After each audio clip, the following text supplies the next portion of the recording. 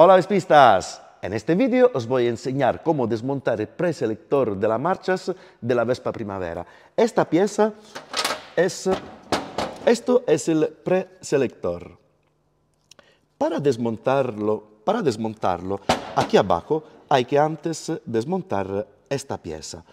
Nos vienen muchos, muchos cárter con esta cosa aquí. Mirar, mirar en este punto. ¿Qué ha pasado? Ha pasado que se ha intentado sacar el pasador y no han podido. ¿Por qué no han podido? Os lo explico. Este es muy, muy fácil, pero hay que saber qué estás haciendo. Este pasador en realidad no es cilíndrico, este pasador es cónico. Esta parte es más fina que la otra. Entonces, eh, cuando lo voy a inserir en la pieza, en este sentido, en este, en este sentido entra. Si intento meterlo en el otro sentido, no va a entrar.